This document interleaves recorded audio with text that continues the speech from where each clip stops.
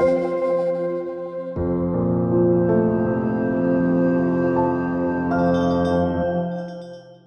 welcome to our channel అదిగో third wave ఇదిగో third wave అంటూ మనకి ఎన్నో రకాలుగా వినిపించినటువంటి మాటలతో దేశవ్యాప్తంగా ఉన్నటువంటి ప్రజలు ఎంతలా వణికిపోయారో మనందరికీ తెలిసిందే. చూస్తుండగానే క్యాలెండర్లో ఆగస్టు కూడా వెళ్ళిపోయింది.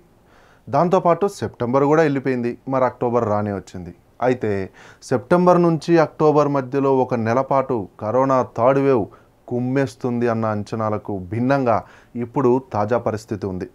ఇలాంటి వేళ తాజాగా శాస్త్రవేత్తలు పలువురు దేశవ్యాప్తంగా ఉన్నటువంటి ప్రజలందరికీ కూడా థర్డ్ వేవ్ గురించి ఒక తాజా వార్నింగ్ అయితే ఇవ్వడం జరిగింది. మరి వివిధ రంగాలకు చెందిన శాస్త్రవేత్తలైన సందీప్ మండల్ నిమలన్ అరిణమిన్పతి బలరాం భార్గవ్ సెమిరన్ పాండాలు రాసినటువంటి ఒక పత్రంలో తాజాగా ఈ కరోనా థర్డ్ గురించి సవివరంగా వివరించడం జరిగింది. దీని ప్రకారం కరోనా థర్డ్ ఉంది అని అంటున్నారు. కానీ దాని తీవ్రత ఎక్కువగా ఉంటుంది అని కూడా హెచ్చరించారు. ఈ నెలలో కేసుల నమోదు ఎక్కువైతే వచ్చే జనవరి ఏప్రిల్ మధ్య తీవ్ర స్థాయికి చేరుకుంటుందని కూడా వీళ్ళు అంచనాలు వేసి మనందరికీ చెప్పడం జరుగుతూ ఉంది. ఇక జర్నల్ ఆఫ్ ట్రావెల్ మెడిసిన్లో ప్రచురితమైనటువంటి ఈ అధ్యయన పత్రంలో పేర్కొన్నటువంటి అంశాలని ఒక్కసారి కనుక గమనిస్తే పర్యాటకుల సంఖ్య పెరగటం సామాజిక రాజకీయ మతపరమైనటువంటి అంశాలతో ప్రజలు పెద్ద ఎత్తున గుమిగూడుతున్నారు అని ఇవన్నీ మూడో వేవుకు కారణాలుగా చెబుతున్నారు వీరు. ఇటీవల పర్యాటకుల తాకిడి పెరిగిన తర్వాత హిమాచల్ ప్రదేశ్ కులు మనాలి పశ్చిమ బెంగాల్లోని డార్జిలింగ్లలో కేసులు పెరుగుతున్న వైనాన్ని వారు ఉదాహరణలుగా చెబుతున్నారు. తాజాగా పబ్లిష్ అయినటువంటి ఈ అధ్యయన పత్రంలో పేర్కొన్న అంశాలను గనక ఒక్కసారి మనం పరిశీలన చేస్తే దేశీయంగా పర్యాటకం పెరిగితే వ్యాపారులకు స్థానికులకు మంచి జరుగుతుంది. కానీ పర్యాటకులు స్థానికులు అధికారులు బాధ్యతగా వ్యవహరించాలి. కరోనా వ్యాప్తి చెందకుండా జాగ్రత్తలు తీసుకోవాలి.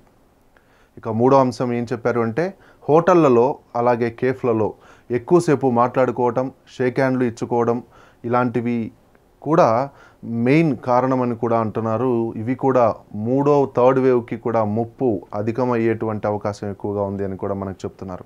ఇక మూడో అంశం కోవిడ్ ఆంక్షల్ని పూర్తిగా ఎత్తేసినా సరే పర్యాటకుల తాకిడి లేకుంటే మూడో వేవ్ తీవ్రత కొంతమేరకు తగ్గే వీలుంది. సెలవు రోజుల్లో పర్యాటకుల సంఖ్య పెరిగితే మాత్రం మహమ్మారి సులువుగా వ్యాపించే అవకాశం ఎక్కువగా ఉంది. ఇక నాలుగో అంశం ఏం చెప్పారు అంటే దేశంలో జనసాంద్రత ఎక్కువ. కాబట్టి థర్డ్ వేవ్ కొన్ని ప్రాంతాల్లో రోజువారీ కేసులు పెరుగుదల నూట మూడు శాతం కూడా ఉండొచ్చు అని అంటున్నారు.